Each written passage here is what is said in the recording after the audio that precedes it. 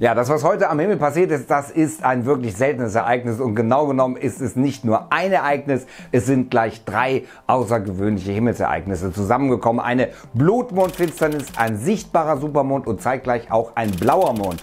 Dieses Spektakel nennt sich dann Super Blau Blut Mond Finsternis und das hat es zuletzt vor 150 Jahren gegeben. Was das mit der Geburt eines Schlumpfes zu tun hat, von wo aus dieses Himmelsspektakel von der Erde aus zu sehen war und warum uns dieses Phänomen für zukünftige Mondmissionen hilfreich sein kann, jetzt in Klicks um Science Fiction. Herzlich willkommen.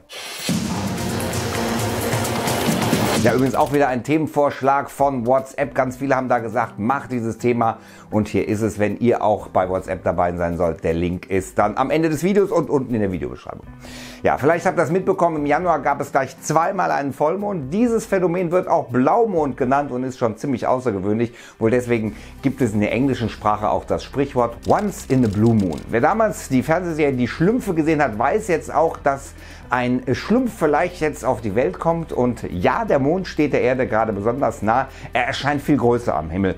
Und so kam zum Vollmond auch noch das Phänomen des Supermondes dazu. Das ist gerade am frühen Nachmittag europäischer Zeit passiert, genau wie übrigens bereits am 3. Dezember und auch schon Anfang Januar. Der Mond also ist also der Erde ungewöhnlich nahe gekommen. 364.000 Kilometer haben uns getrennt. Nur damit ihr es besser euch vorstellen könnt, die mittlere Entfernung liegt bei 384.000 Kilometern. Langfristig wird solch ein Zweier-Date zwischen Mond und Erde immer seltener vorkommen, denn die Bahn des Mondes entfernt sich jedes Jahr um etwa 3,8 Zentimeter von der Erde. Jedenfalls steht fest, dass die gemessene Helligkeit des Mondes bei solch einem Supermond um etwa 30 Prozent größer ist als bei der durchschnittlichen Entfernung. Als würde das nicht reichen, hat sich zu dem super und blauen Vollmond auch noch etwas Rot dazu gemischt, denn in derselben Nacht gab es jetzt, also jetzt, also bei uns am Tag, gab es laut US-Raumfahrtbehörde NASA auch eben eine totale Mondfinsternis. Der Mond scheint dunkelrot und wird in diesem Zustand als Blutmond bezeichnet. Der Grund, die Erde schiebt sich zwischen Mond und Sonne und wirft ihren Schatten auf den Mond. Später verdeckt sie ihn ganz. Die Erde schirmt also die Sonnenstrahlen ab, doch einige werden von der Erdatmosphäre gebrochen und zum Mond geworfen. Dies sind langwellige Infrarotstrahlen, die den Mond in die geheimnisvolle Gestalt des Blutmondes hüllen. Genauso übrigens wie beim Sonnenauf- und Untergang. Da wird das Licht der Sonne ja auch rot. Etwas korrekter als die Bezeichnung Mondfinsternis wäre also so etwas wie Mondrötung.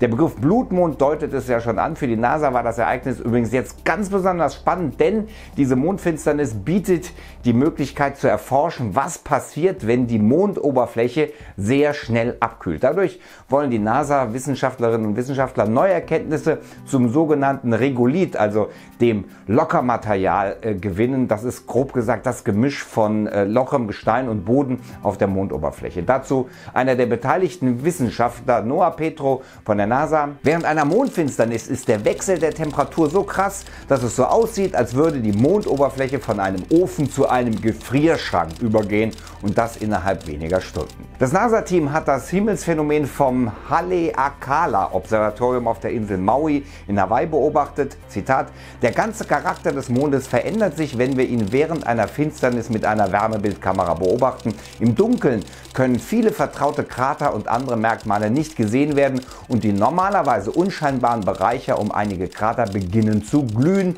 weil die Felsen dort noch warm sind. Ja, das sagt der Weltraumphysiker Paul Hain. In welchem Tempo die Oberfläche Wärme verliert, hängt von der Größe des Gesteins und auch der Materialeigenschaft ab, je nachdem wie porös es beispielsweise ist. Diese Informationen über die geologische Beschaffenheit des Mondes, die können jetzt zum Beispiel genutzt werden, um geeignete Landeplätze für zukünftige Mondmissionen zu identifizieren. Wir in Europa konnten das Ereignis nur indirekt über das Internet beobachten. Die drei Himmelsereignisse waren lediglich in Neuseeland, Australien, Ostasien und im Westen von Nordamerika perfekt zu beobachten und zwar mit bloßem Auge. Im Gegensatz zur Sonnenfinsternis ist das nämlich dann möglich. Übrigens, die nächste Mondfinsternis wird es Berechnungen zufolge wohl am 27. Juli dieses Jahres geben.